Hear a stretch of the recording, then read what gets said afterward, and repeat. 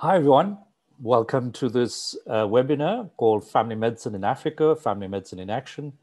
Um, this is a weekly uh, seminar, a webinar that uh, we have, not, so, uh, not, not every week, but it's been a regular feature. Um, it's a great opportunity for us as WONCA Africa to share and introduce people on the ground who are doing some great stuff as family physicians. Um, we're really glad to have uh, Dr. Paulos Beshah, who's a family physician from um, Eswatini, but who's going to share a bit more about himself shortly.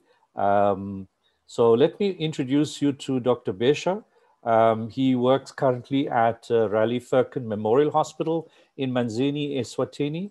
Uh, he's going to talk a little bit later about excellence in NCD care, but we first want to know who the person Paulos Beshah is. Um, Paulos, you can unmute yourself and um, we can start Hi, how are you keeping, Paulos? Thank you for joining us.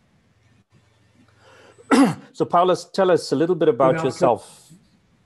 Good afternoon, uh, everyone. Uh, uh, first of all, let me acknowledge uh, uh, Professor Shabir for this opportunity. My name is Dr. Paulos.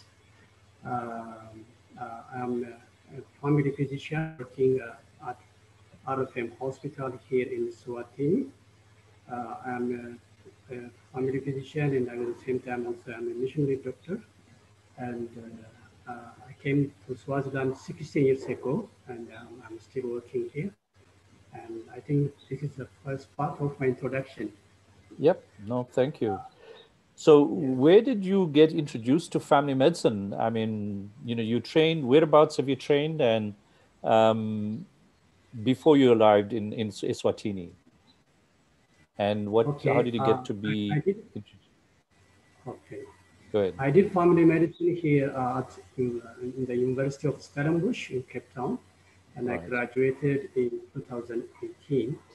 Okay. Um, but I came. Uh, I am originally from Ethiopia, uh, so right. I arrived in Swaziland you know, about 16 years ago, right. and I've been working as a medical officer here. And then uh, I, I was able to join um, uh, family medicine uh, training at the University of Stellenbosch. It was a great privilege, and uh, I was motivated by some people who, who, who already became family physicians and uh, when I was there, they were sharing uh, with me about what family medicine is, actually it uh, it triggered something in my in my spirit, and something that I'm called for, and it's something that I'm born for. Uh, especially as a missionary doctor, um, my main vision and the aim is to bring impact and reach out people holistically. So uh, I, I, could find that family medicine has got all necessary skills and knowledge to fulfill my spiritual and physical and um, ministry to, that I would like to uh, uh, explain to other people. Well, it's wonderful. I mean, so you've been away from Ethiopia for the last 16 years, um, and and and you are now in in uh, in Eswatini, um, practicing for 16 years as a as a medical officer. Um, what can what how did you actually get to know about family medicine? Saying, I want to do this what struck you is right at the beginning you know not after your training but right at the beginning when you were first introduced to it. So at the beginning um, uh, as, I, as, I, as I mentioned uh, i had some friends who did family medicine and they told me about family medicine. And then later on um, uh, i had a, privilege of meeting professor hugo uh, from right. university of Pretoria who, want, who wanted to establish a family medicine course here in Swatini. Right. So uh, luckily I met him and he started a diploma course in family medicine here in Swatini. And the very, very interesting thing about it is that I met him and uh, it was a time when I really wanted to do this course. And uh, Actually, I was not just a student, but I was also a coordinator for the course. Became wow. a coordinator connecting Swaziland and University of Pretoria and uh, uh, um, uh, I was connecting them with the Minister of Health with, with one of the universities. Actually, there is one university here which, which should have been a medical school. Right. And it was started it was started by a church and missionaries from South Korea. And uh, I was very much related to those people because of our right. spiritual connections. And, uh, and, uh, and Professor Hugo was using as a platform this university to introduce family medicine. And by that time, I, was, because of the connection I had with this church and the missionaries, and uh, I was found to be one of the persons who, who can assist uh, this area. So uh, I was requested to assist the church and coordinate this program for Professor Hugo. And then uh, I was able to recruit some of the students, and I became also a student, one of the students. Right. Uh, and then I did my family medicine uh, course in for Dip- diploma course. In, diploma. In the, so then you went on to do a master's with Stellenbosch. Yes. Then I was trying to apply. Uh, it took some time. It was not easy to get this opportunity while you are working in Swahili. Yes. But uh, somehow I made it uh, and I joined the, the family medicine course. So after uh, doing the diploma course, uh, I couldn't see anything uh, except doing family medicine. right. Good. Good. Well, that's wonderful. And how did the how did you manage? Because you basically did this the course masters at Stellenbosch, and you know that was a master's with you while you were working in Eswatini uh, most of your yeah. time. So just tell people very briefly how you yeah. how you did your masters there in Eswatini. Really it's quite hectic. Uh, mm-hmm. uh, University of Stellenbosch, uh, uh, specifically uh, Department of Family Medicine, is a very well structured and very organized department. And even if I am in Swaziland, I'm always in, con- in connection with the, with the school. Every time we have a discussion online on daily basis, every module should be discussed and we need to apply right. our assignment. Practically for me, there is no difference um, whether I'm in, in Cape Town or in Swaziland, right. because I'm always in connection with them. Yes. We need to always uh, contrib- make contribution, and there is a mark for the graders for every contribution that we make. So right. every day I'm in class and I'm, I'm connected with the school. And uh, in terms of practicals, uh, I do my practicals in the, in the, in the hospitals that we have here in Swaziland. And we have also about four contact sessions, and uh, I have to travel for two weeks and sometimes for a week. Uh, and I Once a year? no, about four times a year. Four times a year. About four times a year, and I have to use the road, and then I have to fly. Uh, yeah. about no problem. About seven hours trip uh, just to get yeah. into Cape Town, and I never missed even one class and I was very much motivated and I was very happy. I never regretted for the money that I spent uh, for trip and uh, as well as yeah. for the tuition fee. It was was paid from right, right from my pocket, yeah. and I really love it and it deserve it and I really enjoyed it. And I'm very, very fulfilled and I'm happy that I'm a family physician. I'm looking forward even to extend and further my studies if the opportunity comes. Of course, PhD yeah. next. so you'll consider a PhD, I'm sure. So good. Well, you're doing some great stuff, and I think everybody's eager to hear what it is that you're doing um, in terms of uh, evidence based treatment of asthma. And generally, you've talked about uh, NCDs. So just share with us. I think you've got a presentation. Perhaps you could go through it. And if any of the audience uh, has any questions, please feel free to use the Q&A um, button, ask your questions. I see we already have one. Uh, Dr. Paulos, I think people want you to speak a little louder. I think if you're also struggling, just uh, lift your volume up on your phone, but that's fine. Thanks, Dr. Paulos. Would you um, would you want to present? Yes, yes, go ahead. I've I think you can. If you're not, just let me know. I think uh, it should be fine. Sorry, I need to stop sharing. Um, so let me, okay, go ahead. There you are.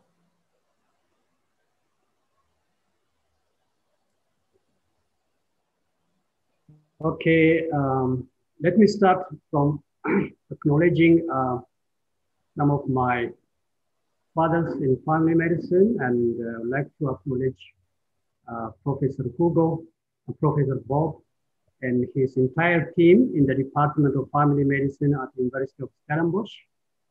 And Professor Hugo. Just put it on uh, team. Paulos, sorry. Can you just put it on uh, full screen? I think, yeah, just below that, your full screen. Yeah. Okay. Then it, there you are. Yeah. Good. Much better.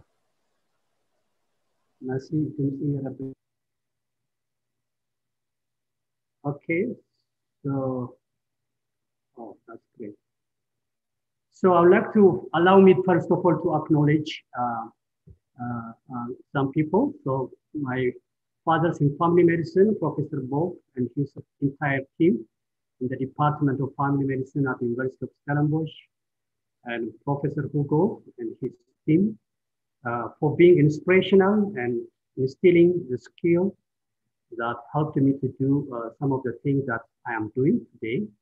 And also I would like to acknowledge Professor Shabir, of course, for trusting me and giving me this opportunity to speak to you.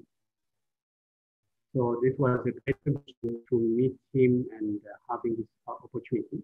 So as I have introduced, I am originally from Ethiopia and came to Swaziland for medical mission as a missionary doctor.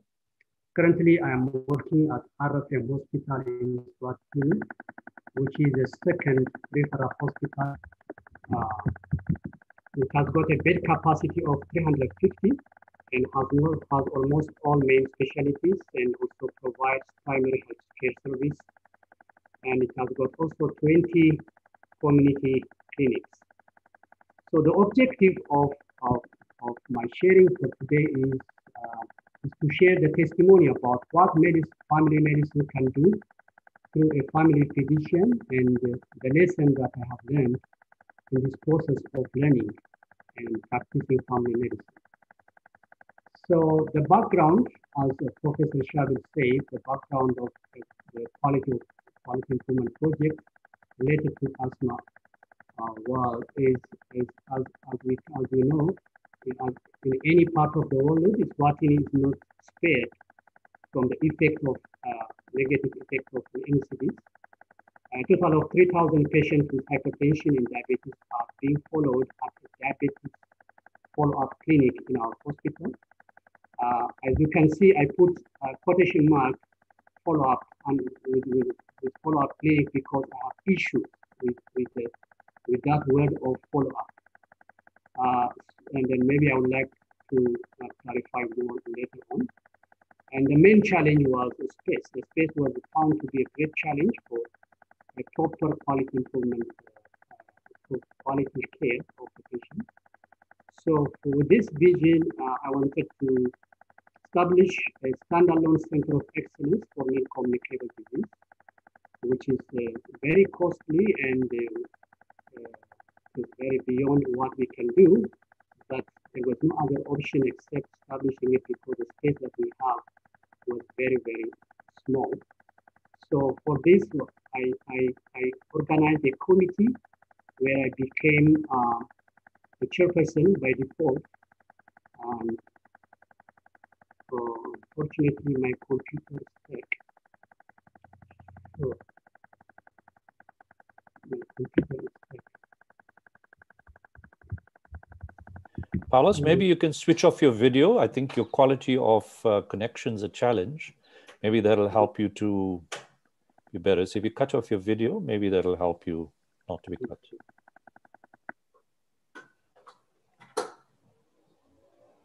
Okay, so uh, I think I'm fine now. So, right. and then while I'm preparing uh, uh, for establish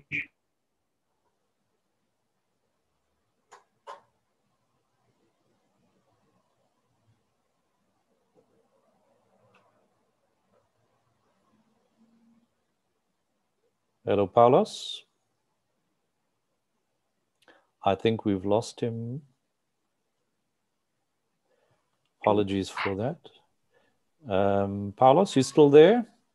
Paulos, can I suggest you switch off your video? I'm trying to stop your video. Yeah, good. Just stop your video, then your internet won't be too troubled, and then you can continue. All right.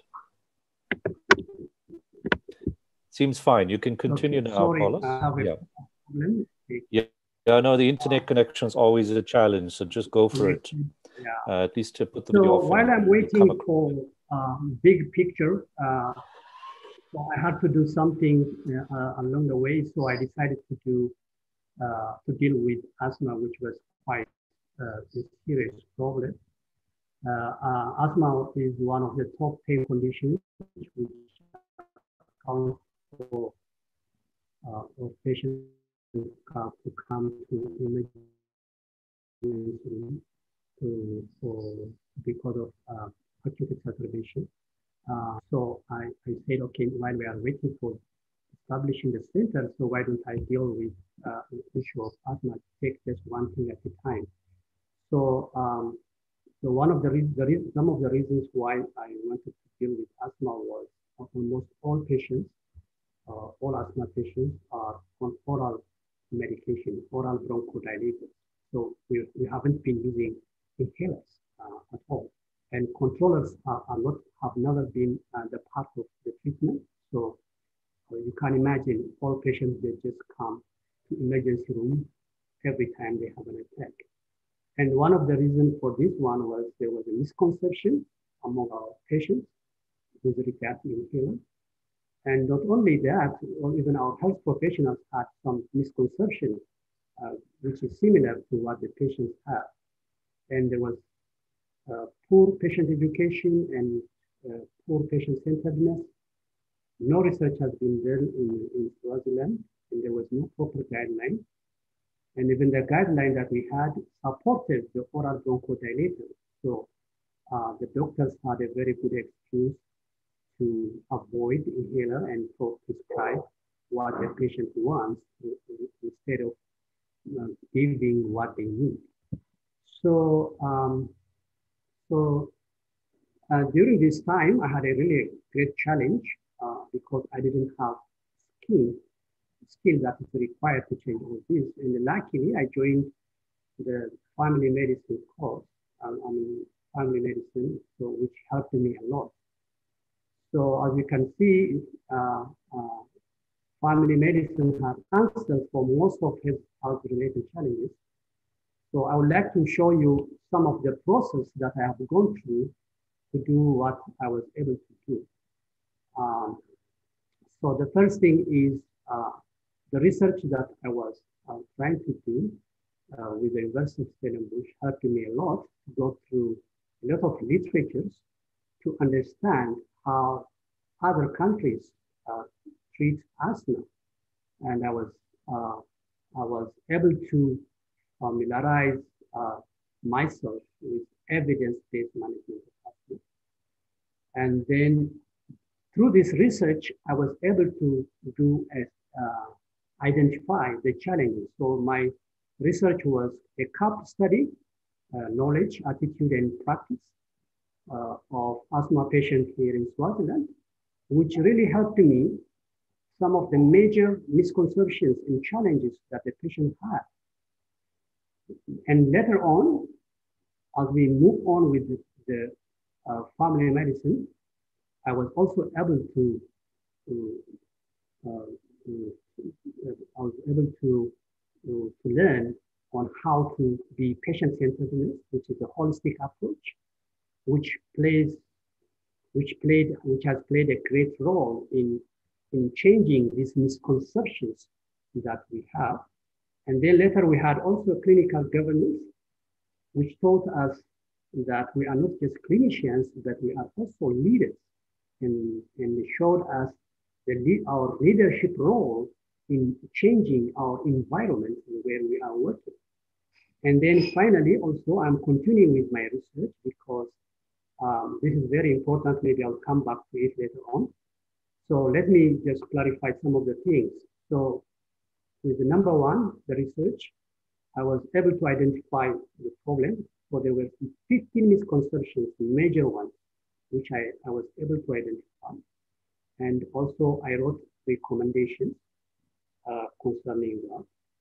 So some of uh, the recommendations that I, I, I, mentioned in my research was establish asthma follow-up clinic, uh, switch oral medication to inhaler, and organize evidence-based national guidelines, and uh, assess the knowledge, attitude, and practices of health professionals in Swaziland so that we can see what is really happening on the ground with regard to our health professionals. And then the five, the fifth one was conducting training. So these were some of the recommendations uh, for my research. Now the question that uh, I have is now, usually I see people doing research, but most of the research, they don't have the owners. Uh, uh, in terms of implementation. We write research and we write recommendations.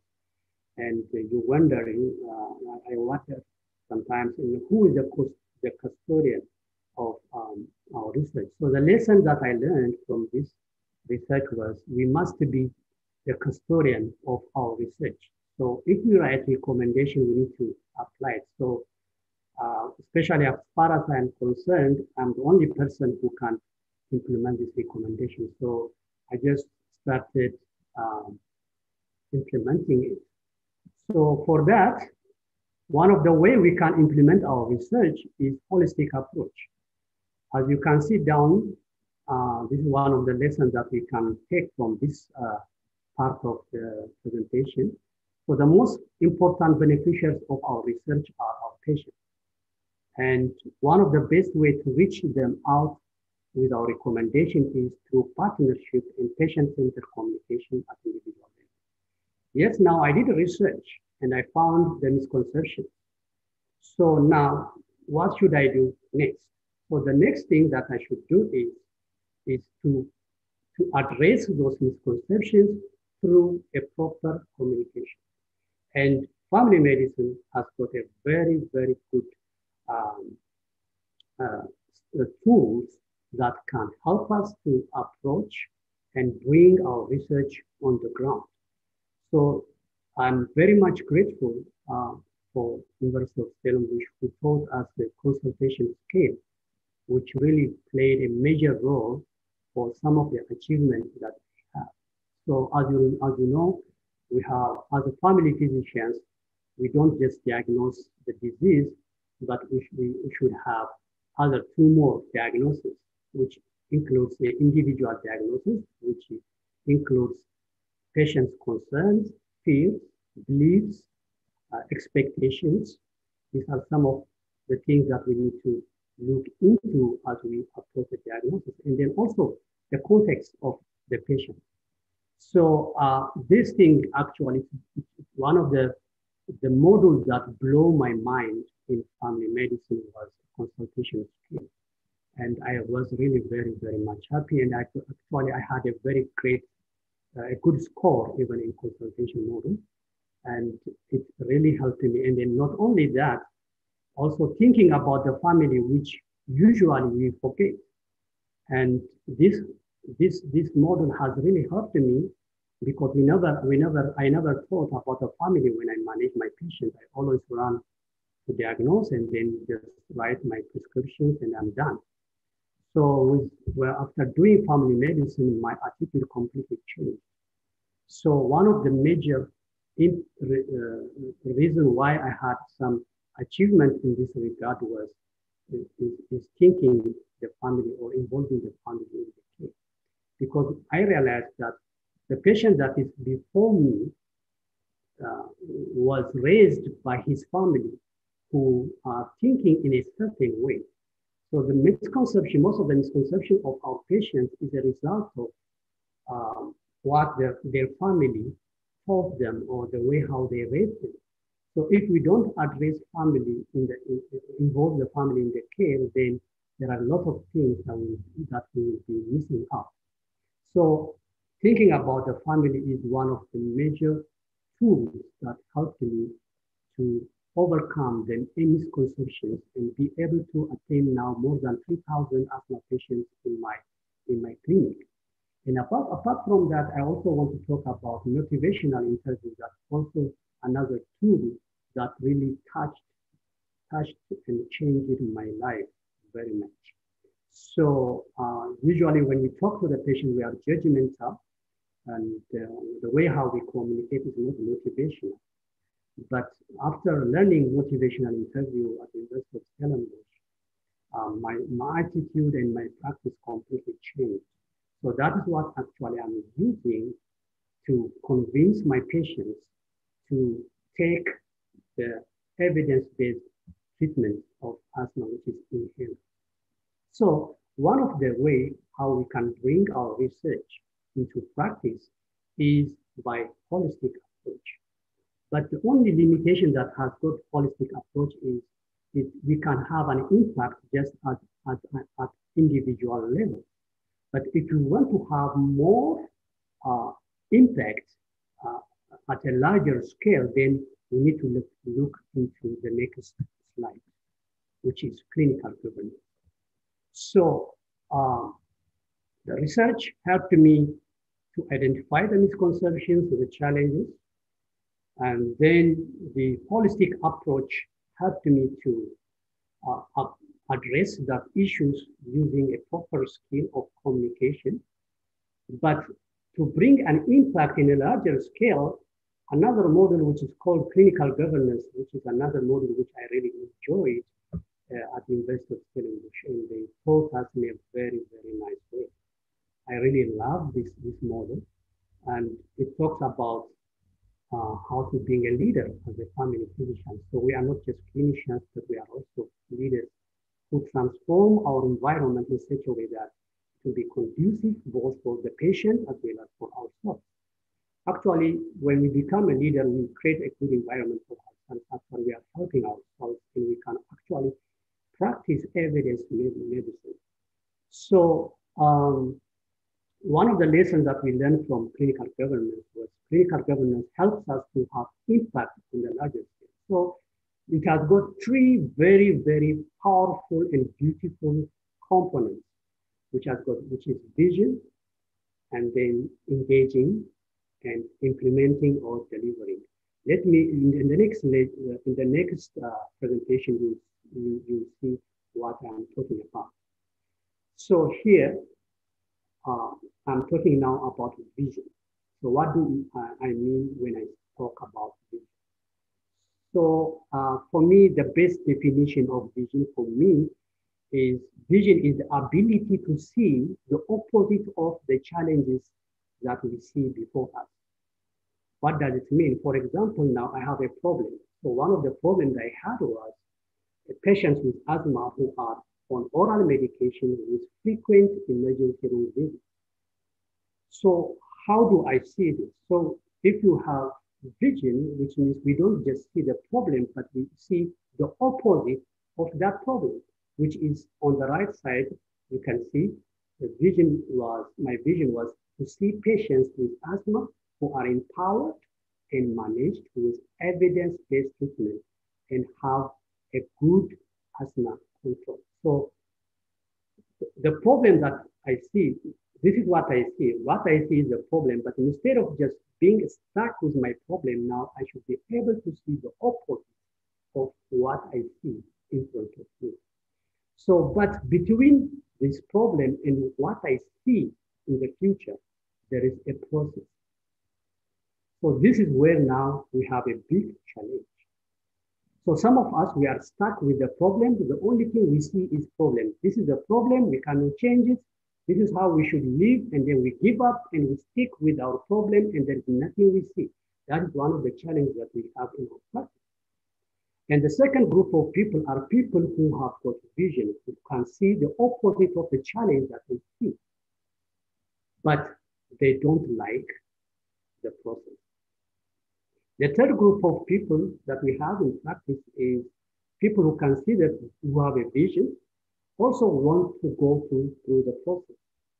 So I want to categorize myself in the third group, whereby, whereby people who have got vision, not only having vision, but also be able to go through a process. But when I talk to when I talk about process, it's not, it's not as easy as I'm talking. It is very challenging. So in that process, one of the most important things is engaging others. Because we can never fulfill our vision without taking others in the process. And taking others and engaging others in the process is one of the most difficult things that I have ever seen. So this includes our involving our colleagues, involving hospital management, and also at the larger scale, we need to also involve even the government in the case, which I did. So I started sensitizing my colleagues who were not completely interested about changing the current practice. And they are enjoying it. They are stuck with the problem and they don't want to go through the process. But luckily, I was able to convince my hospital management and they were happy and uh, to support if I am just pushing with it. And then with that support, I started doing what is right using the holistic approach. So most of the friends, most of my friends, they couldn't believe, they did never believe that I can make a progress or I can be successful until I pushed and continued with what I knew. So uh, I started seeing patients and in a very amazing way, patients start to be convinced and the number of patients who are on inhaler is gradually was increasing. And this actually um, created a question among the doctors, but still they were very resistant, they were very difficult. And at some point, I, I was planning to have my own clinic where I can follow. And they couldn't understand me. I mean, they never thought that there will be, they can, there can be a, a follow-up clinic for asthma patients. And they asked me, what are you going to do with, with your follow-up clinic? And I was asking them, what are you doing with your diabetic clinic? And the same. This is also in one of the non-communicable diseases, a chronic illness, which needs follow-up. They couldn't understand me. The only thing they know is just refill the tablet and send them home. So the issue of control, the issue of prevention, and the, all, all, other things are, were not the part of the practice in my hospital.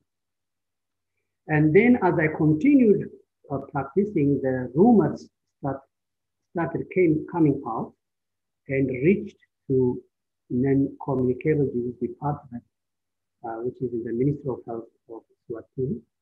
And I was called and I was communicated and they asked, they told me, okay, WHO has been uh, telling us to do these things, but we, we, we couldn't find anyone who is interested in helping us. And, and as such, now we, we have been stuck and we are very much happy about what we, we hear about what you're doing. So is there any way you can help us to do this? So this was a great opportunity so I had an opportunity to speak before senior government officials about it, and uh, it was a very fruitful meeting, and I was able to convince these people. And then we agreed to make a, a, an evidence-based national guideline, and, uh, and and I came I came back. But when I came back again on the ground, there was a lot of opposition okay, somehow I was, with the help of the hospital management, I was, I got one room where I can run this clinic. But after six months, the other doctors, they opposed and the clinic was closed. So, but I continued with my patient where I was working, so I couldn't um, organize a standalone clinic. So I hope now you understand what I'm talking about. I'm talking about the process that we, we can go through when we want to fulfill our vision. It was tough. It was really tough. Um, sure. But despite that, I pushed.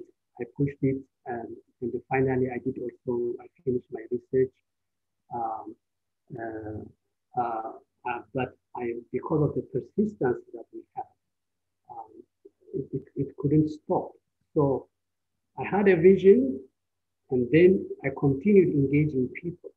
So because now I have some people from the management of the hospital and I have some people from the Ministry of Health, because I was able to engage them, then now things start to become a bit easier because now the bosses also started saying something about it. So the resistance is somehow, somehow was changing, but was not completely. Um, and then uh, uh, finally, uh, they, they were able to see the number of patients that are flocking into to my clinic where I was working. So the number of the number was increasing, and then gradually they could even see the number of patients in, who are visiting the emergency room start to come down. So now at this time, I think they were in the state of ambivalence.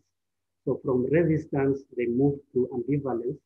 And then during this time, they were started referring patients instead of managing themselves. So which was fine for me. It was a lot uh, to see all these patients that are referred from every direction. But looking at my vision, looking at the future, I had to sacrifice and attain all these patients. And they were able to see these patients being convinced and being on inhaler. So this actually created some questions. So at least now they stopped opposing me uh, or um, fighting with me. Uh, they start at least now collaborating somehow in some way. And then finally, um, there was a time when now uh, uh, we, we need to do a, a, national guideline. And then I was invited to uh, work on asthma and COPD. Um, very, the very interesting thing that I saw was uh, there was no one who could join me. So because there were a lot of doctors who came from different facilities and everybody was sharing different topics like diabetes, hypertension but there was no even one person who wanted to do asthma guidelines. So I was left So I'm still talking about process. I'm still talking about engaging others. So I did the guideline by myself, the draft, and at the end of the, the week, we had to present the draft that we, we have made. So during that draft, um, I presented and uh, I defended all the, question, the questions they, um, they, uh, they asked me. And then one of the things that they were talking about was it is impossible to convince psoriasis uh, to change their mindset. But fortunately, before that guideline, I was able to manage a lot of patients with inhalers, so they could see that it is possible. But the only thing that they, they, the only problem they had was there was no, they had no skill to communicate and convince, which I really understood because even myself, I was able to do it because of the contribution that my, my teachers and lecturers um, have made into my life and which I'm always grateful about. So uh, currently, um, I'm through going through all this process, um, uh, I'm able to find another room well equipped and uh, uh, and it's running very very well. Um, so this was this was the outcome of the research. So so this is what happened finally. Uh, so now I was talking about vision, if you remember, and I was talking about engaging others with all those challenges. Now I'm, I'm talking about, about implementation or deliver. I'm talking about how to deliver now finally your vision. So I, I was able to uh, establish the follow-up clinic, which is a standalone. And uh, as we know now, there are a lot of follow-up clinics in, in different places and different facilities, but I just want to talk a little bit about it. For me, we have a lot of refill clinic rather than follow-up clinic. So when we talk of follow-up clinic, it's not just about refilling the medication, but making sure that we are not missing some of the things that might lead into other complications. So unfortunately, I think in most follow-up clinics, the so-called follow-up clinics, uh, they are not really follow-up clinics, they are just refill clinics where patients just get uh, their medication. Uh, are, we are just dispensing medication and we are not following up. Following up, I think it requires proper communication, patient education, and also to do routine tests. For example, a diabetic patient should have EKG, should have uh, kidney function tests, stuff like that. If you are not doing in a regular basis, but if you are just refilling the insulin or metformin on a regular basis, that is actually a refill clinic, uh, which is uh, happening in our setting. So for asthma patients especially, no one is, is talking to them, no one is talking about asthma control, no one is talking about stepping up, stepping down, just they get their uh, tablets uh, three times a day, TID for the whole month. So they are getting salbutamol tablets, which is four milligrams, which is very toxic, uh, and uh, they have been getting it for the entire month. And it was used as a preventer, yet it is a bronchodilator. So I should have changed all these practices. So the standalone uh, follow-up clinic, the reason why I make it a standalone is because I want to bring that sentiment and I want to change the mindset of having an asthma follow-up clinic which didn't exist. No one could think that there is a need for asthma follow-up clinic. And the second thing is to bring uh, and to train other people to, um, to be a model for, for, for the country and also for, for my facility. So refill is a part of follow-up, but it is not the whole thing. It is just one part of the follow-up, I think this is one of the very important things that we need to learn. And then um, the, actually, it didn't take much for me to organize my, my asthma clinic. So I went through the different guidelines and I saw different things that is required by uh, an asthma clinic. And they are very simple, they are very cheap, and they are very doable. So one of the things I prepared was invitation paper. This is for family. For example, I have a patient. I can convince that patient, or maybe he's a child with a mother, I can convince the mother, but when she goes back home, the father says, no, no way, you can never give inhaler for my child. And he claims to be the head of the house, so she cannot resist.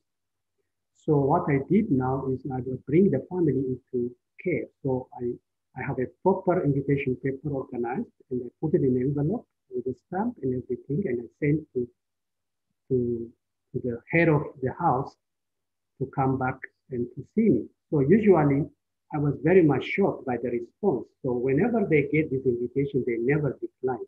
Even if they are resistant, they really respect.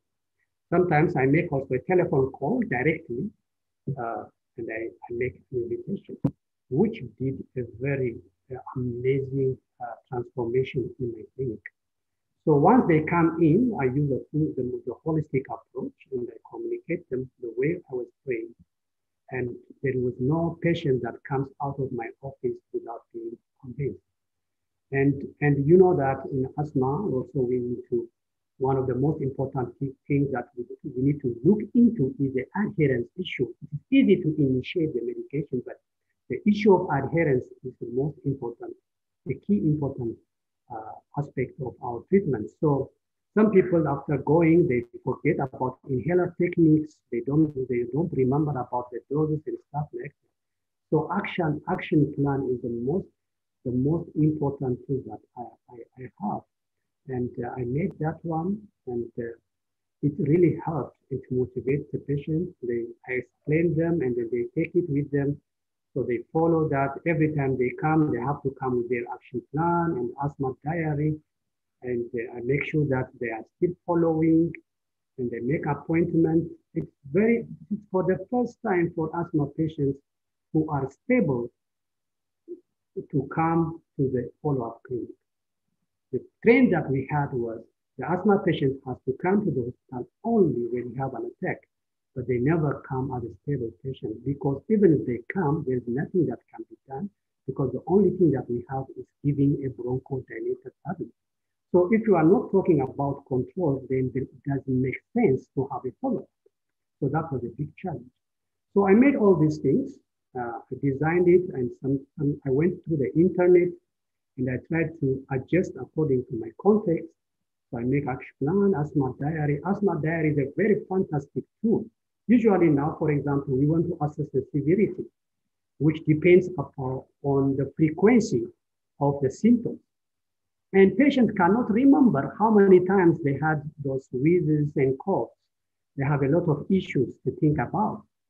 So asthma diary is the best tool for that. So I give them, they have to tick. When there is a symptom, they have to tick right. If it is not there, they have to cross. So every time they come, they come with that asthma diary, and it makes my life easy. I can see how many times he had those symptoms. I can see how many times he used his bronchodilator. That tells me about his control, and I can also, I am also able to assess the severity of the asthma and the response. And then that will help me now to step up or to step down with my treatment. So practically, um, I feel like now I'm doing medicine, which I never did in the past. So I, they have got also asthma card, which has got all measurements, the peak flow meters and the, the spirometer results, the weights, the heights, and everything in, in all these things documented. In every follow-up, it is measured and it's documented. Even if they go to another facility, they can show where they are in terms of uh, their severity, everything, the diagnosis is clear on the card. So they can go to, anywhere and the doctor who's going to see them will have all information that, about that particular patient. And then I have also uh, made history, uh, initial history sheet, initial follow-up. I don't just use any empty paper, but it's a very organized history sheet, which has got, which can give me the whole, the, the, the, the, everything about what I have to know about my patient in terms of severity, in terms of confirming the diagnosis, in terms of the objective measurements, subjective measurements, even the concern, the issue. There is a, a, a, there is a line where I write the patient's concern related to, to, to the medication, related to treatment or asthma, whatever concern it is there. So this sheet guides me not to miss some of the very important things. So I don't use an empty paper for a follow-up. So it is a well uh, structured sheet that helps me to not to miss most important. So I'm organizing currently a brochure. Um, I have also able to raise funds to get peak meters. I have quite enough peak meters. I have two spirometers um, uh, with EKG machine. And I have flow charts, BMI charts. Very important. For example, maybe uh, some people were asking me why the BMI chart in asthma clinic. And because obesity is one of compound uh, factors uh, that makes you our asthma uh, worse. So weight loss is also very important in asthma patients. So uh, I, I, have a complete vital sign, I can say, that uh, the BMI, the weight, the height, these are the part of the vital signs in my history sheet. So oxygen saturation, I have also a whiteboard and there is a uh, there is what I call it a family corner where I bring the family together. And then when I teach them, I just take 15 minutes or 20 minutes and I explain it writing visual on the whiteboard. And they really like it. And the fact that I'm standing up from my chair and I'm going to the whiteboard by itself, it speaks, speaks a volume to the patient. So they really enjoy that session and they come out very refreshed and very much motivated. So additional achievements and uh, through the engaging, through engagement of the, the, the respective uh, government officials and so forth, uh, I was able to draft and also submit the national guideline, uh, and then, then which was approved by the Minister of Health and as well as the WHO, the local WHO office. So now, from this year, oral medications are no more uh, the part of the national guideline of uh, guideline is working. Uh, still, there are doctors still prescribing because they are struggling to convince patients. But in my clinic, it is 100% abandoned and it, it is avoided. So I have, uh, it took actually quite a long time now since I stopped uh, prescribing. So, and then preventers uh, were successfully introduced. We I have some challenges um, uh, for with availability of the drugs in the hospital at times, most of the time actually. But again, I have realized that uh, involving the family in the care will help you to compensate what is lacking in the in the in the in the clinic. So I personally believe that every diabetic patient can have all that annual test if we are involving the family in the care. For example, now for children, we don't have spacers in the hospital, but all children that I'm following, they, I make sure that they have spacers. So one thing that I do was I involve the family. So for example, if I, the child comes with an old gogo who has no money, I don't look, just look at her, but I look into the family. So I made, I make an invitation. I bring the people who are in the part of that family, and I explain, I convince them, and then I made them buy the spacers. So all spacers that have been given to children were purchased from a private pharmacy through uh, communication and convincing the family uh, who are uh, who are supporting the particular patient. So after the guideline, also I, I was assigned as uh, a national uh, asthma trainer, and I've been traveling from facilities to facilities, training uh, nurses and doctors in the country. Uh, every time I do the presentation, it is an eye-opening for them, and still they are struggling how they can implement and convince uh, the nation, in which I completely understand, uh, which also requires training. So I'm requesting the Minister of Health to organize uh, a, a, training on how to uh, uh, how to, to, organize a training to, so that I can present on how, how to conduct motivational interviews, how to convince me so that I am able to uh, share my experience in terms of communication because what I was training them was I was just training them the evidence-based uh, treatment of asthma and by comparing the oral medication that we are giving. And it is an eye-opening for them. With, with now they are saying, yes, what you are saying is very right. But now the issue is how to do it, how to communicate. That is the big issue. So now currently also I'm writing two books and one is uh, for the patients, for asthma patients. The title of the book is There is Hope for My Asthma. And the second one is I'm writing a book, uh, which the title is Pocket Guide for Health Professional on how to address misconceptions related to asthma. So it will be more specific to Swaziland, but hopefully um, it will help for some other countries as well.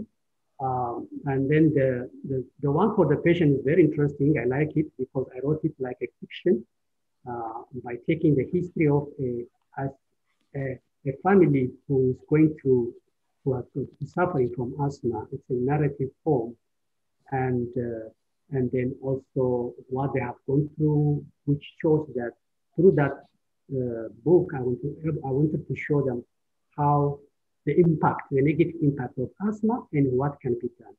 So um, it's a very interesting way. It's like a fiction form, but very informative. Uh, it's going to change most of the patients, and then what I'm, I'm doing in the clinic is also is, is there. So uh, if they get that book, they, most of them, they will be learning even at home before they come to the clinic. And then, and also I'm sharing my experience with my health professionals on how I communicate. So I just put the misconceptions and then how I interact with the patient. So I write each step, how I communicate, what kind of questions I ask, how I challenge my patients. All those things is, is, is being, is being so it's in a process. Hopefully in this year it will be published and uh, that will be my contribution. Uh, Good. So, and then uh, as you can see now in my recommendation, most of my recommendation, my research have been uh, implemented. Uh, uh, so the issue of training was done, the issue of guideline was done, and the switching was being done. So most of the recommendation I wrote in my research for my graduation has been implemented. So which is why I'm very happy. That's why we need to be custodian of our research. We shouldn't leave our research for someone to mm. implement it. So this is one of the great lessons that we can learn. And we are, because the reason is because we are the people who really understand the topic. So uh, the, the, other person cannot understand and cannot read it the way we do it. That's what I learned. Uh, and then one another recommendation is that uh, research was to do a, a KAP study for doctors just to assess their baseline knowledge in terms of what they are doing, what they are doing, where was the challenge, and, and uh, I'm writing a proposal uh, currently. I'm finalizing, I'm almost finalized, and I need someone to assist me with that research so that um, I start collecting my data and analyzing that. Um, so, and then uh, I'm planning also to do some research in the future in terms of treatment adherence, what is happening with my patients, how many of them are still uh, on, uh, on treatment, how they are doing after some years of treatment. That's something that I want to see. And then I want to also look at the impact of uh, the asthma clinic on, on the work. Uh, Looks like a PhD there for you. so uh, this will be the last slide. slide. And I think this is what the, some of the process that I'm using. Yep. Um, and I believe that every family physician should do research. Yes. And uh, so that we can assess our work environment, our practices, and then once we find uh, some results and recommendations, we need to apply it at individual level using a holistic approach, which we are trained for with. And if you want to make an impact in a larger scale, then we need to use our skill from clinical governance on leadership role so that we can have an impact others. And then after having an impact, again, we need to go back to our research and assess mm. yes. what has really happened through our holistic approach and uh, through our clinical governance, and then the cycle continues. I think I have to stop here. Thank you so much. No, thank you very much, uh, Paulos. It's uh, really wonderful to hear the, what you've talked to us. Uh, I think I love the fact that uh, you talked about vision is the opposite of problems. So all of us just need to rethink and we can all become visionaries. I think you've placed some really good tools and I uh, I think you've shared, like you've captured, you know, how you take simple research, simple problems, understand them better, uh, and then actually turn them into practice and really do that well, um, not only the individual patient, but at a population level. Um, we have uh, limited time, but uh, there's just uh, one hand up. Um, is uh, wanting to speak. I'm going to allow them to, uh, to, to perhaps ask a question or to make a comment, and then we'll, we'll just come with a few quick, quick other comments and then close. Thanks, Montserrat. And there's a question also from Charles. Yeah, go ahead, Montserrat. If you unmute yourself, I think you can. Um, okay. All right. While you're doing that, Charles asks um, a question, Charles in, in, in Sanzabera. Um, does it, Yeah, no, I think Don Montserrat is busy. Let's see if she gets to be unmuted. Uh, Mons- Charles asked the question Are you no longer using the oral drugs? Have you moved patients all across to, um, to inhalers? Yeah, that's a very good question.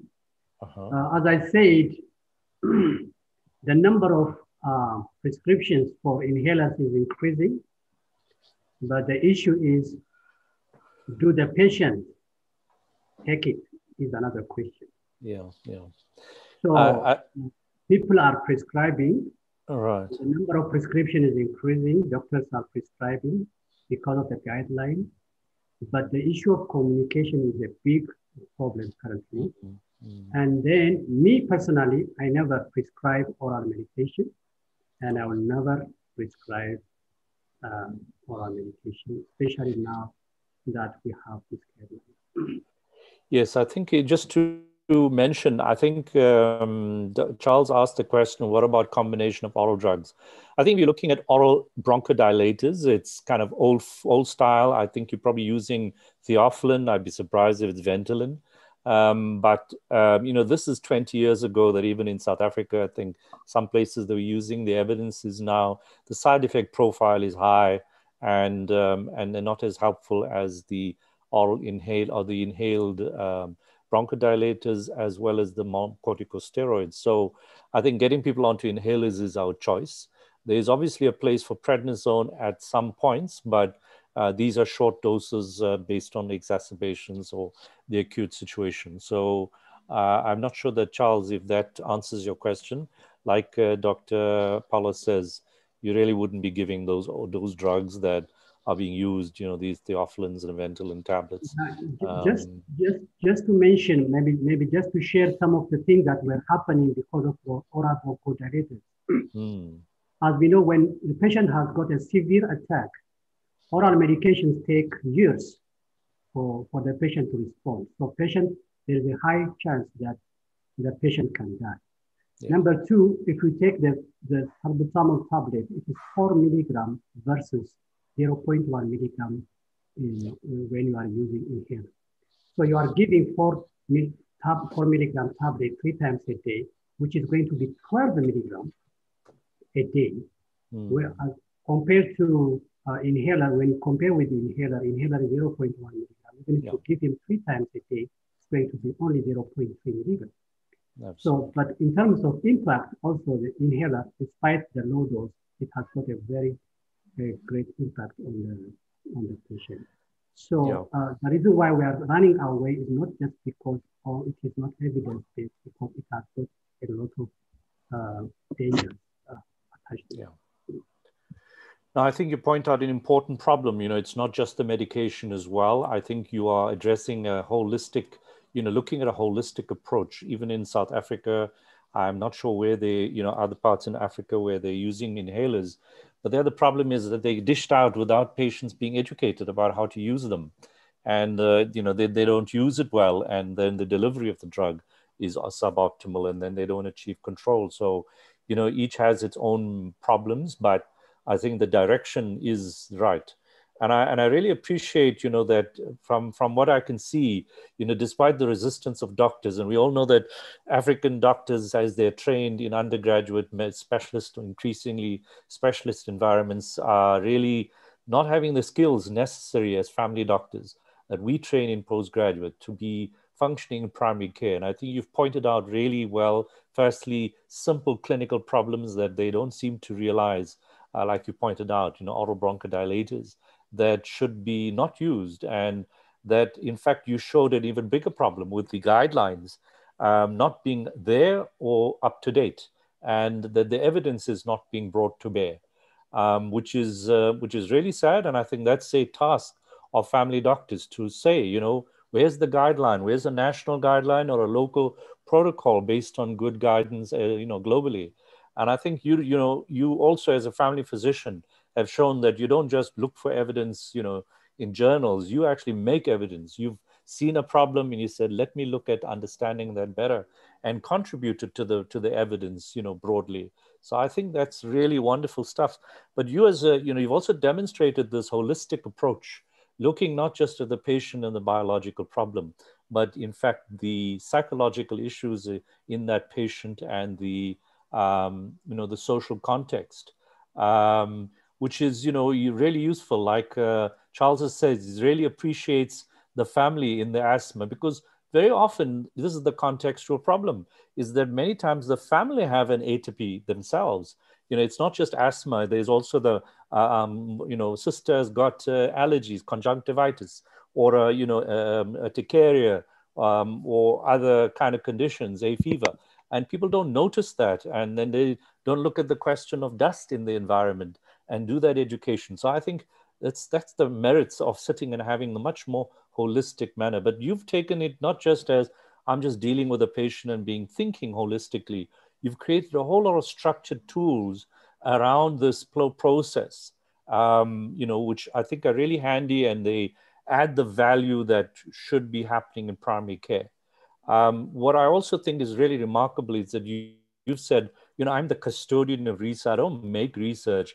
I actually implement the results. I try to do something about it, which is quality improvement, you know, and you're doing that exact same thing. And I, and I think, like I said, you know, you, you can easily turn this into a PhD uh, looking at the process that you're unfolding in terms of quality improvement. And I'm really, uh, you know, amazed at your change management skills. Clearly, you've developed strong leadership skills that have been honed in, uh, you know, in the the course itself, and you've learned to use, you know, set up a clinic. What some people might say, well, you know, you're doing your own thing, but in a in a situation where there's so much of resistance, that is the way to go. You know, set up something that works, show people, and then slowly they come around and you've shown that kind of approach. You know so that's how you scale up. I mean very quickly you'll be pressured from all over the show. You know make this happen everywhere.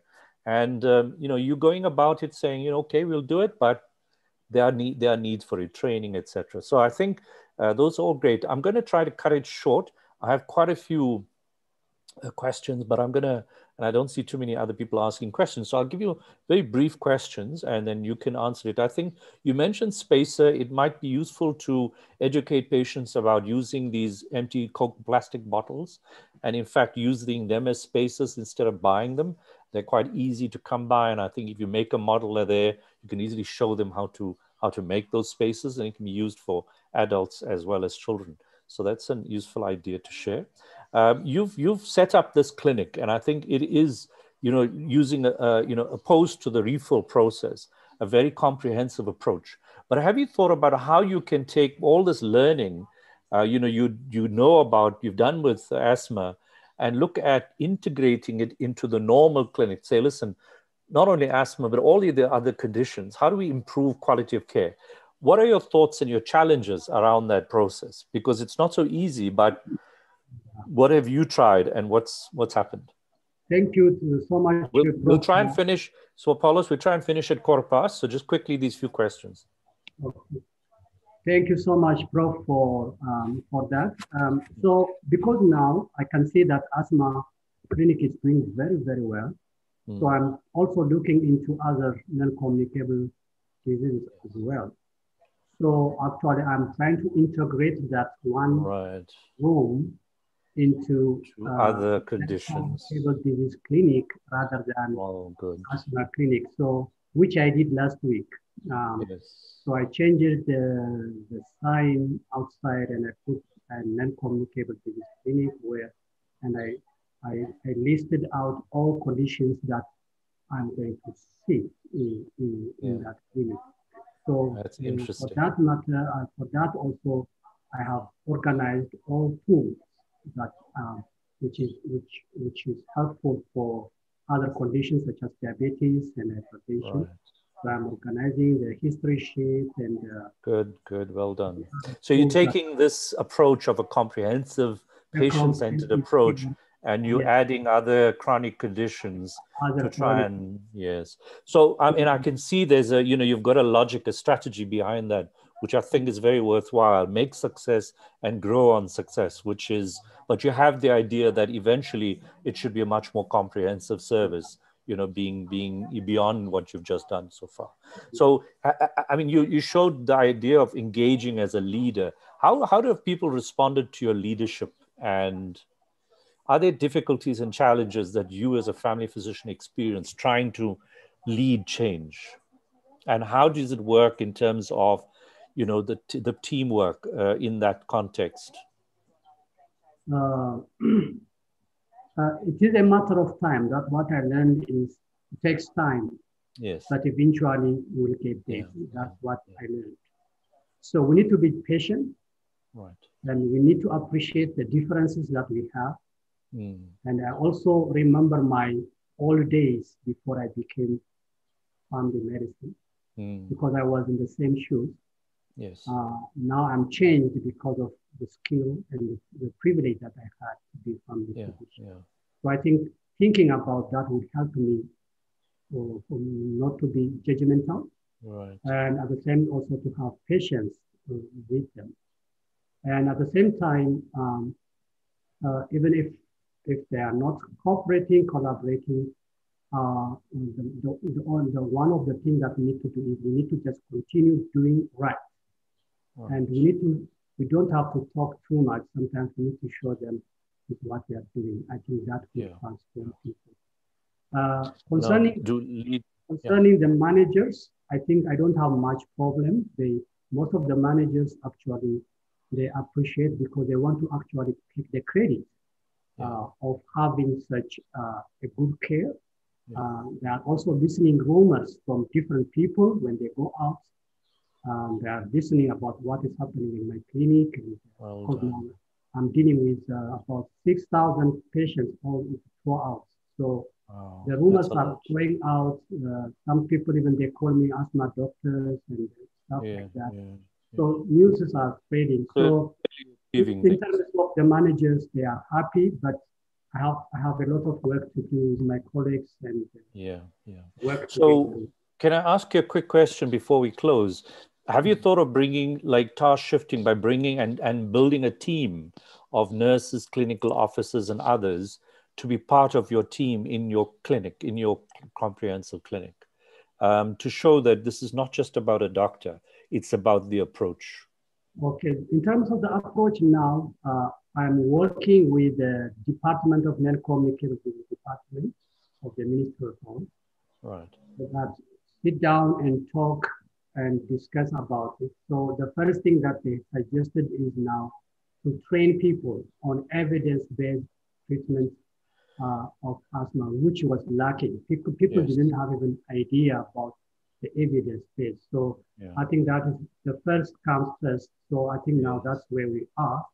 And the next thing is now we need to see how we can organize formally a follow-up clinic in all institutions.